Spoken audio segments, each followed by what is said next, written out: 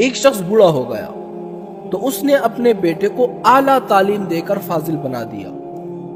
एक दिन घर के सहन में बाप, बेटे दोनों बेटे हुए थे। इतने में एक कौवा घर की दीवार पर आकर बैठ गया। तो बाप ने बेटे से पूछा कि, बेटा, ये क्या चीज़ है?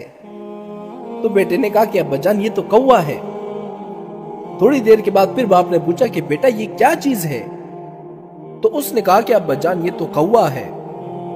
फिर थोड़ी देर गुजरने के बाद बाप ने फिर से पूछा कि, बेटा, ये क्या है? बेटे ने कहा, क्या बजान अभी तो आपको बताया था ये कौआ है। फिर थोड़ी देर गुजरने के बाद फिर बाप ने पूछा कि, बेटा, ये क्या है? अब बेटे को गुस्सा आ गया। उसके लहजे में तब्दीली आ गई। तो उसने गुस्से से कहा कि अब्बा जान कौआ है कौआ फिर थोड़ी देर गुजरने के बाद बाप ने फिर से पूछा कि, बेटा, ये क्या है? अब बेटे से रहा नहीं गया। उसने कहा कि आप हर वक्त एक बात पूछते रहते हो? हज़ार मरतबा कहा कि, ये कौआ है। आपकी समझ में बात नहीं आती?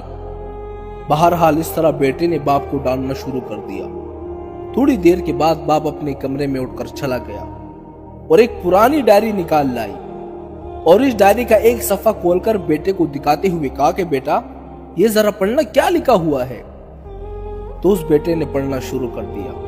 और उस डायरी के अंदर ये लिखा हुआ था कि आज मेरा छोटा बेटा सहन में बेटा हुआ था और मैं भी बेटा हुआ था। इतने में एक कौवा आ गया। तो बेटे ने मुझसे 25 मरतबा पूछा कि, अब्बा जान, ये क्या है? और मैंने 25 मरतबा उसको जवाब दिया कि, बेटा, ये कौवा है और उसके हर अदा पर मुझे प्यार आया। उसके पढ़ने के बाद बाप ने बेटे से कहा कि, बेटा, देखो बाप और बेटे में ये फ़र्क है। जब तुम बच्चे थे तो तुमने मुझसे 25 मरतबा पूछा और मैंने 25 मरतबा बिल्कुल इत्मीनान से तुम्हें जवाब दिया। और जवाब ही नहीं, बल्कि तेरे हर सवाल पर मुझे प्यार आता रहा।